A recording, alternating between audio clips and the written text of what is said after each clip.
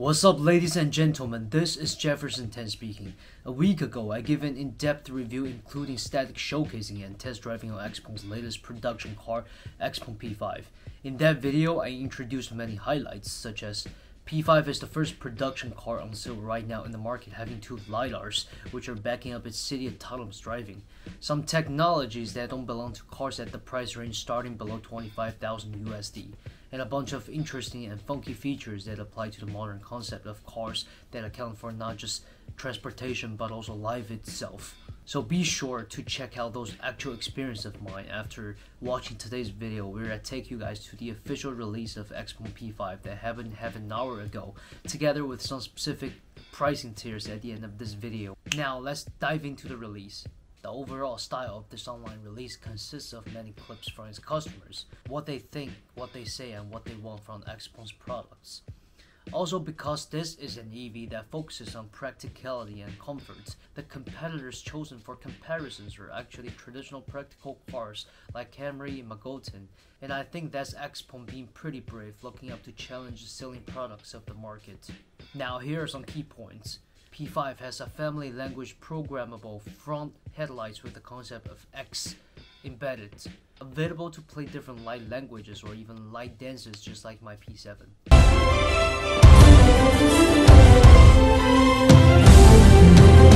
Two LiDARs in the front on the side of the car. When you are within 30 meters range of the car with your phone, it auto unlocks knowing which phone and account that you use to control the car.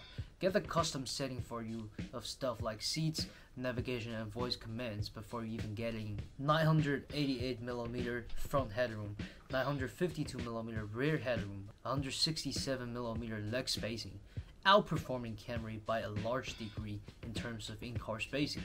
When you're relaxing in this car, laying down, watching movies, drinking cold beverage taken out of the in-car fridge, the ability to control the car using voice commands is even more important than usual. And XPeng happens to have hands down the most powerful voice command in-car system. 声音，OK 音响模式， OK，打开音乐播放室，好，播放，好的，快点开始吧。好的，后放。 Many cars can install third-party apps in their operating system, but whether their users would use those apps is a big question. Here are some interesting data from XPeng P7. 86.7% XPeng customers have installed third-party apps in their cars, with 46,000 hours spent on those apps to prove that the customers of XPeng are actually using those apps in this big screen. 99% penetration rate for its voice commands, navigation, and music apps. Now, if we compare at the same stage, where XPeng P5 is getting sold three times more than its big brother P7 last year, in order to support a potentially higher traffic that might happen in XPeng P5's infotainment system with a more smooth interaction experience, XPeng offers Xmart OS 3.0 with the Qualcomm Snapdragon 8155P chip. As we're driving it up, there are 32 hollow partitions, 40 sound absorbing cotton packs, empowering a great NVH performance, resulting in only 57 decibels under the speed of 60 kilometers per hour, quieter than the Camry. It takes 7.5 seconds to go from 0 to 100 kilometers per hour and it has a braking distance of 36.5 meters.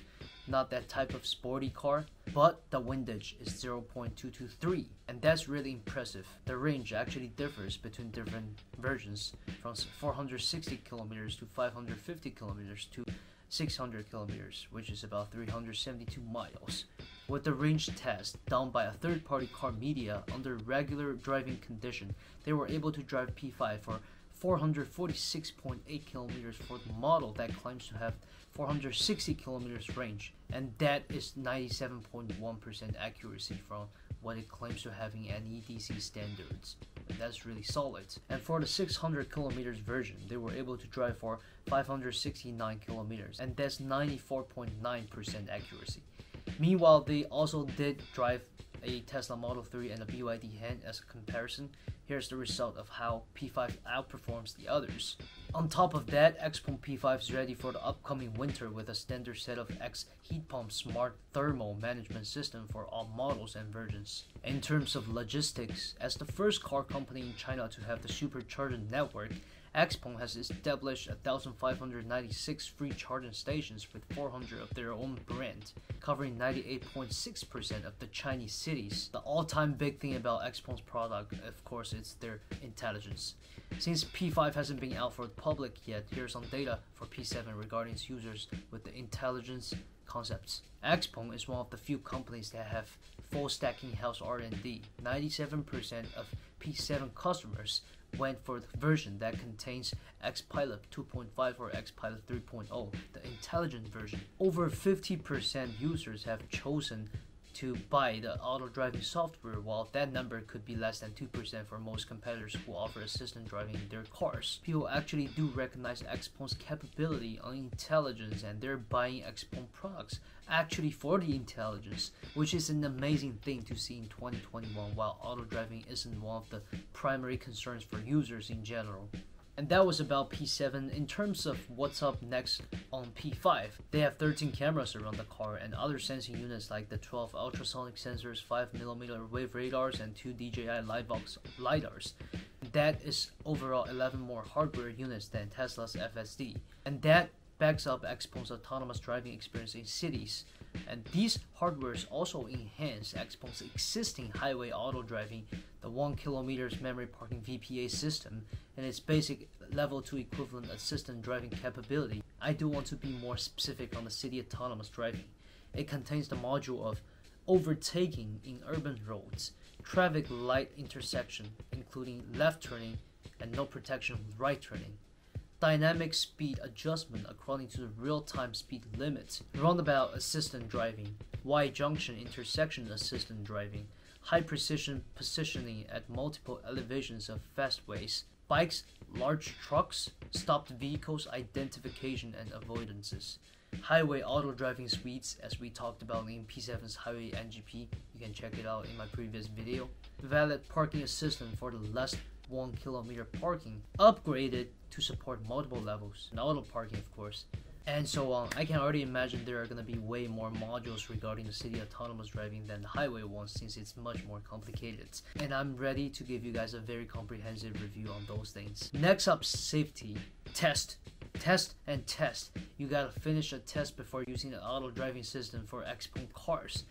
We have seen so many ignorant car owners abusing their car's auto driving system and get themselves injured or killed. That's definitely not what Xpeng wants to see on their customers. For the proactive safety modules, they have a secondary collision mitigation system, actively slowing down and taking control of the car after the first collision to reduce the chance for the second collision. Their batteries can still be functional and safe under the temperature from negative 30 to positive 55 Celsius degrees, holding up a waterproof level of IPv68.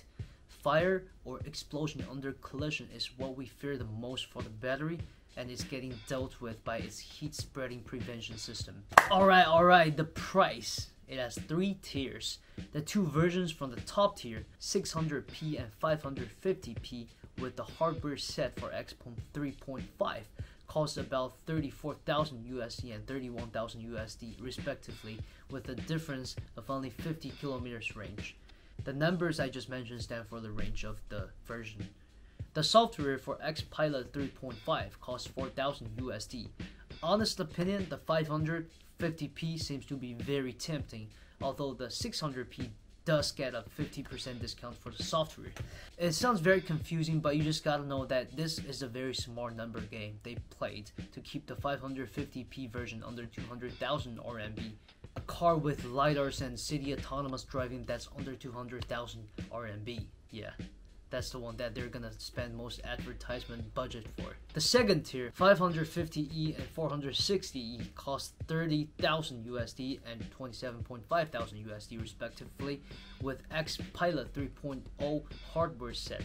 The software associated in this tier costs 3,000 USD, 1,000 less than the top tier, and that's equivalent to my P7's auto driving capability.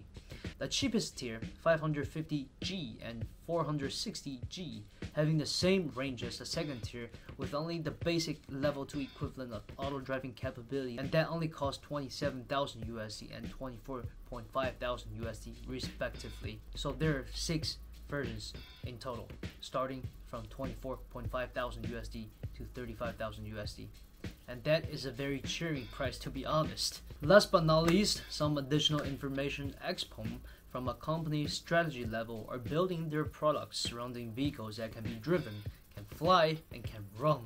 Yes, on top of their X2 flying car, recently they have released a white horse, little white dragon.